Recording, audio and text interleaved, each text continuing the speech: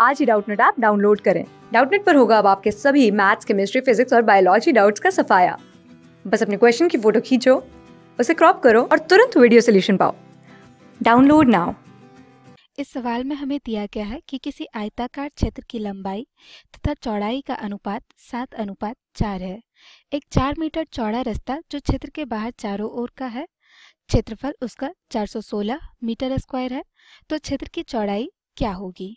तो देखिए, माना कि हमारा आयताकार क्षेत्र की लंबाई 7x 7x और चौड़ाई हमारा 4x है, ठीक है?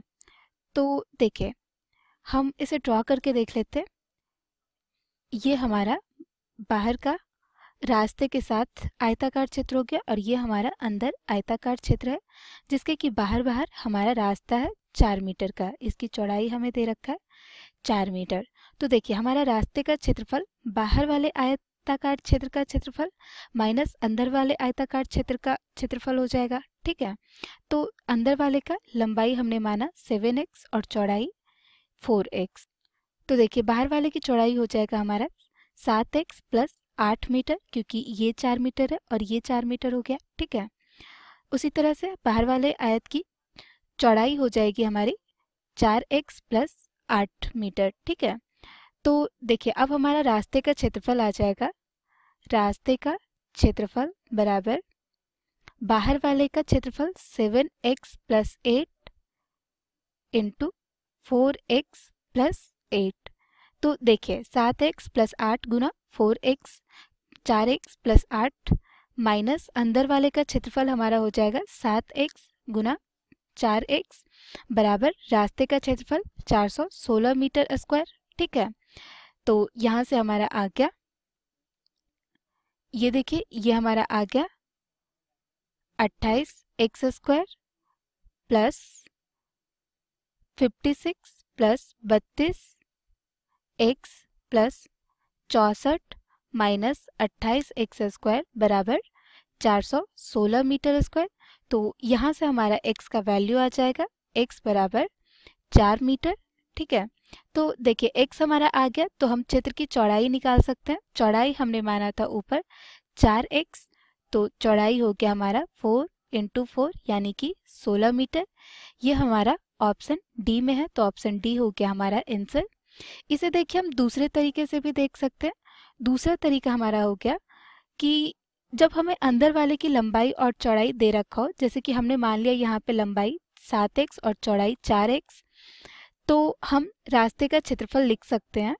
रास्ते का क्षेत्रफल बराबर, रास्ते का क्षेत्रफल बराबर हो जाएगा हमारा लंबाई प्लस चौड़ाई प्लस दो गुने रास्ते की चौड़ाई। तो लंबाई यहाँ पे सात एक्स है, चौड़ाई हो गया चार एक्स प्लस दो इंटू लंबाई रास्ते की चौड़ाई तो ये हो गया हमारा आठ मीटर, ठीक है।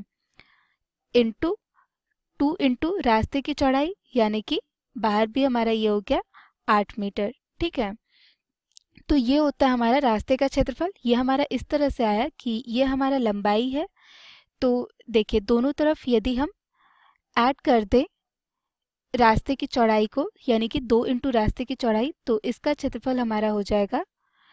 लेट से कि ये हमारा बी है रास्ते की चौड़ाई तो देखिए, हमारा इसका क्षेत्रफल हमारा हो जाएगा टू बी प्लस लंबाई है सेवन एक्स इंटू, इसकी चौड़ाई हमारा बी हमने माना।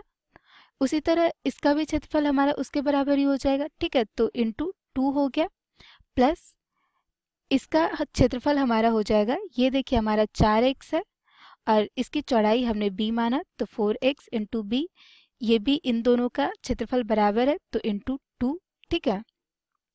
तो ये हो गया हमारा लंबाई सात एक्स प्लस चौड़ाई four x plus two b into two b.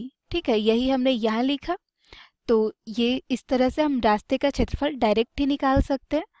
तो इसे हम बराबर कर देंगे। हमें क्वेश्चन में दे रखा है 416 मीटर स्क्वायर उसके। तो यहाँ से अब हम x के लिए सॉल्व कर देंगे। x आ गया हमारा यहाँ से चार मीटर। अब हमने चौड़ाई माना था फोर एक्स तो चौड़ाई हमारा आ जाएगा चार गुने एक्स एक्स हमारा चार मीटर है तो यानी कि आ गया हमारा सोलह मीटर, ठीक है? क्लास सिक्स से ट्वेल्थ से लेके NEET I I T JEE mains और एडवांस के लेवल तक, दस मिलियन से ज़्यादा स्टूडेंट्स का भरोसा। आज ही डाउनलोड करें डाउट नेट आप या व्हाट्सअप कीजिए अपने डाउट्स आठ चार सौ चार सौ चार सौ पर।